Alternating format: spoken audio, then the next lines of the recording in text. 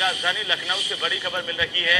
बड़ी और अहम जानकारी इस वक्त हम आपको बता दें, सपा अध्यक्ष नरेश उत्तम हिरासत में लिए गए हैं।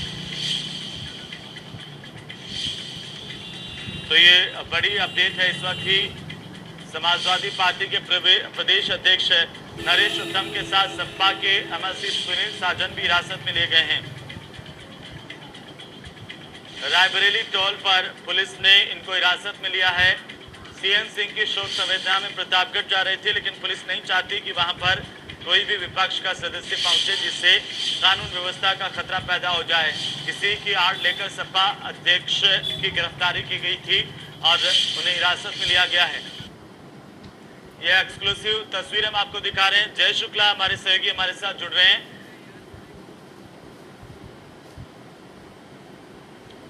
और हम आपको बता दें कि हमारे संवाददाता जय शुक्ला ने सुनील सिंह साजन से खास बातचीत की। उन्होंने क्या कुछ कहा? वो आप सुनिए।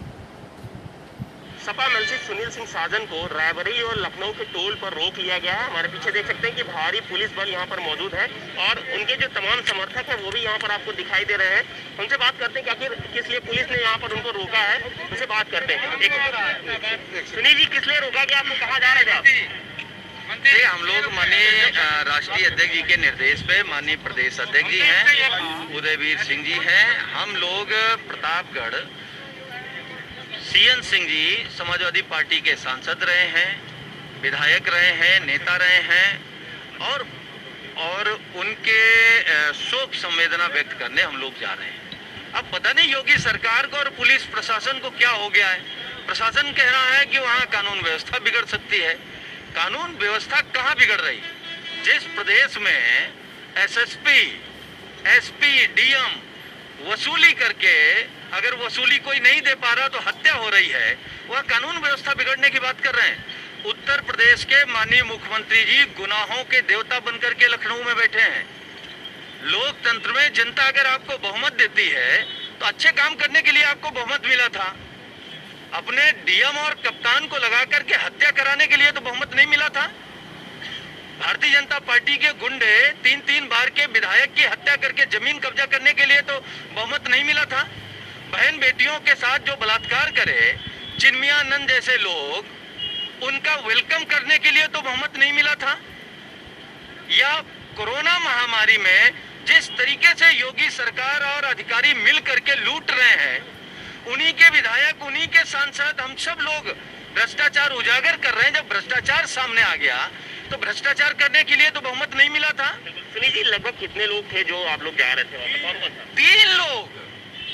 केवल माननीय राष्ट्रीय अध्यक्ष जी के निर्देश पर माननीय प्रदेश अध्यक्ष आदरणीय नरेश उत्तम जी के साथ उदयवीर सिंह जी और मैं हम तीन लोग जो विधान परिषद के सदस्य भी हैं। हमारे प्रदेश अध्यक्ष जी हैं। हम शोक संवेदना व्यक्त करने जा रहे हैं। सरकार की चूल्हे इतनी जल्दी हिल गई। तो अभी अभी क्या करेंगे? आप यहाँ से वापस लौटेंगे या आगे एक फैसला किया है। प्रतापगढ़ जाएँगे सिर्फ़ प्रतापगढ़ जाएँगे। बाकी कोई फैसला नहीं। बाकी प्रशासन तय करे कि वो क्या करेगा।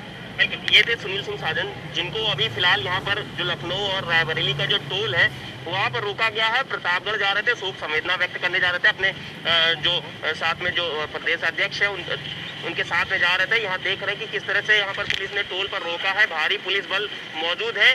कई थानों की फोर्स है हालाँकि कार्यकर्ता भी तमाम यहाँ पर आ चुके हैं जो सपा कार्यकर्ता हैं। अब देखना होगा कि आखिर सुनील सिंह साजन जिस तरह से अड़े हुए कि वो प्रतापगढ़ उनको जाना ही। ऐसे में प्रशासन क्या करता है किस तरह से अनुमति देता है या उनको जाने दिया जाता है ये देखना होगा। लखनऊ से इंडिया न्यूज़ के लिए जय शुक्ला।